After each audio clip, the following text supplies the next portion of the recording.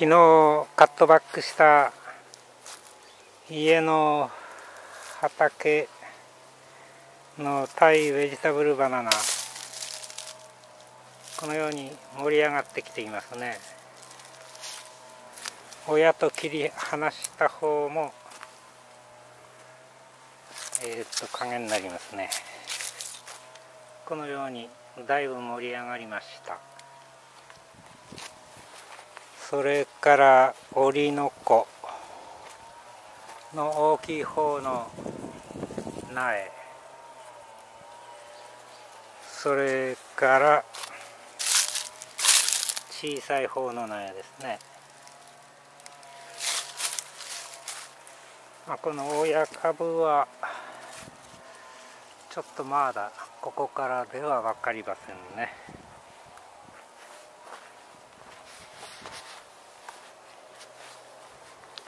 銀バナナの台風で切損した親株の隣の小株の巻き葉これも盛り上がってきていますね。親株の方は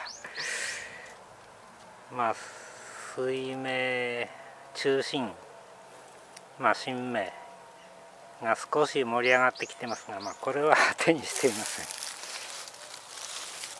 で離れたところに別な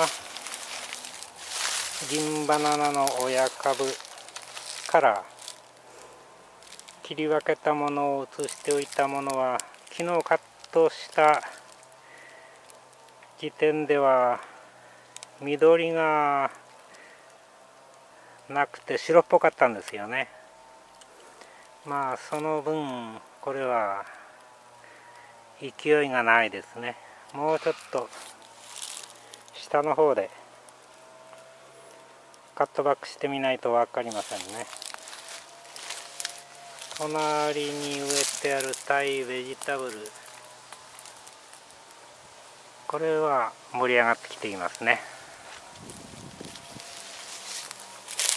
まあ、大体が成長再開すると思いますけどもね。